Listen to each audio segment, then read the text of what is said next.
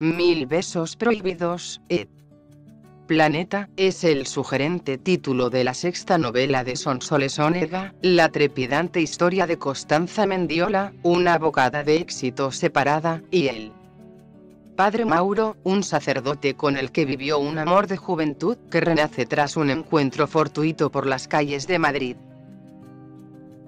Un page turner, como denominan los anglosajones aquellos libros que no puedes parar de leer una vez que los has comenzado, en el que son clave las culpas del pasado, la fuerza del destino, como cantaba Mecano, y el gran proceso de cambio que ha experimentado España en los últimos años, también en términos morales. Entrevistamos a su autora apenas una hora antes de que se hiciera público que la Fiscalía del Supremo investiga al rey Juan Carlos por un presunto delito fiscal y blanqueo de capitales.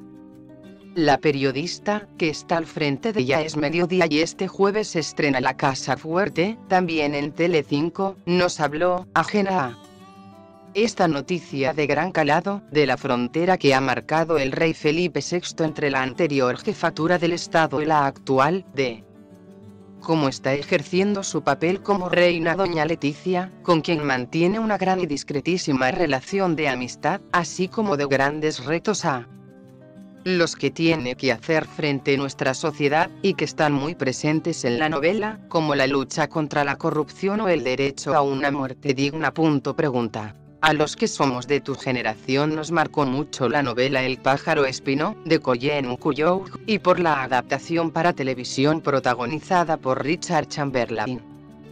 ¿Lo tuviste presente cuando escribiste Mil besos prohibidos? Respuesta. Totalmente.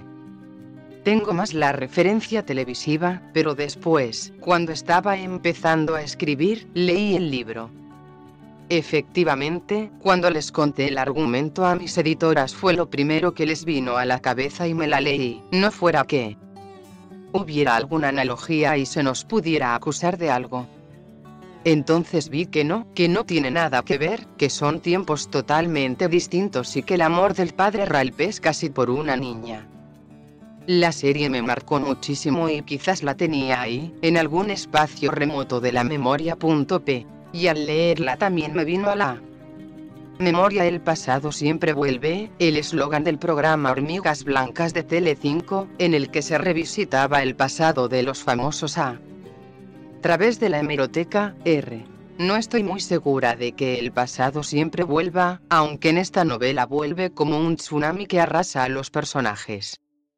Si es una novela que reflexiona sobre el paso del tiempo y sobre esas trampas que nos tiende la memoria haciéndonos creer que el pasado fue mejor que nuestro presente. Es muy humano y a veces necesario recurrir a momentos en los que fuimos felices y que así los archivamos en la cabeza, que nos redimen de un mal presente. Ese tema de los caprichos de la memoria es uno de los fundamentales del libro. De alguna manera todos tenemos un primer amor de cuando nos creíamos las promesas del amor eterno, que no necesariamente nos ha perseguido de manera obsesiva como a los personajes de este libro, pero a ellos les ocurre. Para el padre Mauro tiene algo de maldición, pero ella lo vive al revés, considera que la vida se lo paga con él, porque le debe mucho desde hace tanto tiempo y para ella el amor tiene una fuerza transformadora que le permite volver a ser feliz. P. El hecho de que Mauro, el protagonista, sea sacerdote. Es una de las claves de la historia de amor. Ha llegado el momento de que la Iglesia se plantee seriamente el debate del celibato. R. No soy yo quien lo debe decir, no lo sé. En esta novela es un dilema que se plantea, porque si no, no se entendería la historia. Lo que sí quería era acercarme a la iglesia y a un personaje como el padre Mauro desde el respeto y el poco conocimiento que puedes tener cuando te estás documentando. He trabajado la parte emocional con un sacerdote que me ha ayudado a hacer verosímiles y reales las reacciones de uno ante la irrupción de una pasión.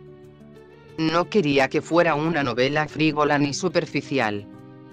Podemos imaginarnos lo que siente un sacerdote cuando se enfrenta a una pasión, a un amor imprevisto. ¿Hasta qué punto se le raja el mundo que pisa? Es algo sobre lo que no sabía nada y he aprendido mucho de la iglesia al prepararlo. Incluso te diré que mis raíces son católicas y lo soy, que no pasa nada por decirlo, que ahora entiendo mucho más a los sacerdotes. De todas formas, el padre Mauro es el hombre casado, cualquier hombre casado. Quería elegir un personaje muy sólido en sus convicciones para contraponerlo también al mundo que vivimos. Mil Besos Prohibidos es una novela de personajes destruidos en sus circunstancias, pero en un entorno que también se está desmoronando poco a poco. Con los movimientos del 15M llega el cuestionamiento de nuestra democracia, de nuestra transición y de nuestras instituciones. El padre Mauro tiene que hacer también esa transición. Es un hombre muy sólido, que no es vapuleado por nada hasta que le ocurre igual que a este país. Quería establecer un paralelismo entre el paisaje de la novela y los personajes que la habitan. Punto son Solesónega, en Ya es Mediodía. Mediaset España, p. A través de Rosalinda, la madre de la protagonista, abordas la cuestión del derecho a una muerte digna y has declarado en estos días que no se está dando la respuesta política correcta. ¿Cómo crees que se debería abordar? R. La historia de Rosalinda es un retorcimiento de la realidad con una trama complicada, pero que busca denunciar esa gran asignatura pendiente que tenemos y que creo que ya podemos abordar desde la madurez de más de 40 años de democracia, elegir cómo morimos. Rosalinda es una mujer que tiene una parte emocional, el rebelarse contra el envejecimiento, y otra es qué hacer cuando le han diagnosticado un padecimiento incurable es un ingrediente más en la novela que pretende ser una reflexión. A tu pregunta concreta, ¿los políticos la van a abordar? Pues en esta legislatura me temo que ya no. Siempre es una línea en los programas electorales, tanto de la derecha como de la izquierda, pero con matices, ley de paliativos, ley de muerte digna. Le cambian el título a un asunto pendiente. Lo que yo sí creo es que debería haber un gran consenso en torno a esta ley si es que alguna vez la hay. Porque los matices, en este caso ideológicos, son muy importantes. Todos deberían escucharse para llegar a un punto de encuentro.